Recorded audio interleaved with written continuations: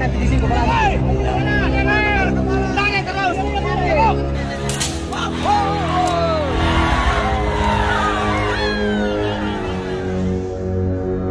Toppers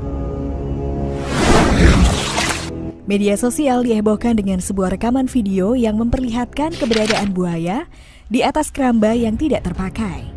Keberadaan buaya diabadikan nelayan melalui video yang diunggah di IG at Insight Lombok. Dalam narasi yang dibuat pada Minggu 24 September, seekor buaya terlihat oleh nelayan naik ke atas keramba yang sudah lama tidak dipakai di perairan Laut Teluk Sepi, Desa Buwun, Masekotong, Kabupaten Lombok Barat, sekitar pukul 17.45 waktu Indonesia Tengah.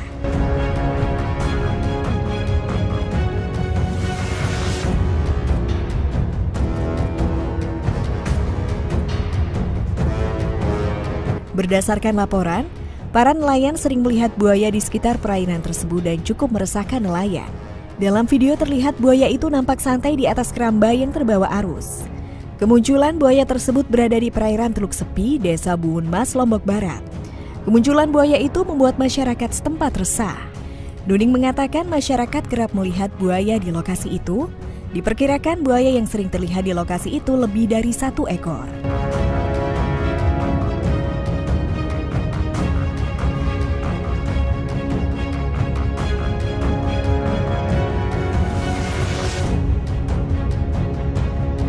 Kemunculan seekor buaya di Muara Teluk Tomini juga sempat gegerkan warga.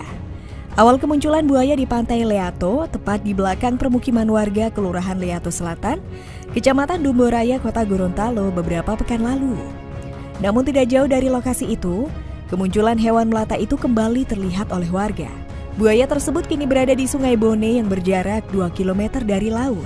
Buaya itu berusaha menepi di pinggiran sungai namun saat dilihat warga sekitar, buaya itu langsung berenang ke tengah sungai dan memperlihatkan kepalanya. Kemunculan hewan buas itu sempat diabadikan oleh warga sekitar dan viral di media sosial. Kepalanya, kepalanya.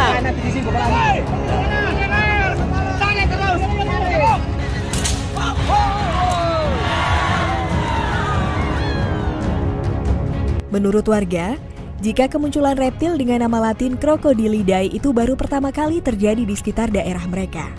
Bahkan muara sungai yang tidak jauh dari lokasi mereka tidak ada buaya. Dengan kemunculan buaya itu warga khawatir akan membahayakan penduduk sekitar sungai.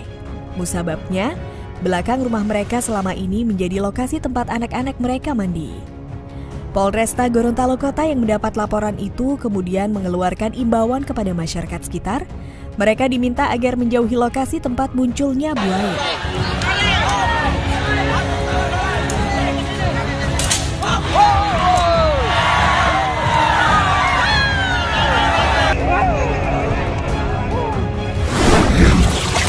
Netopers, buaya sudah bermunculan di mana-mana. Sepertinya populasi buaya sedang mengalami kenaikan. Selalu waspada ketika kalian berada di rawa-rawa maupun di sungai ya. Bagaimana kalau menurut kalian Toppers? Jangan lupa untuk berikan komentar kalian tentang pembahasan di video kali ini ya Toppers.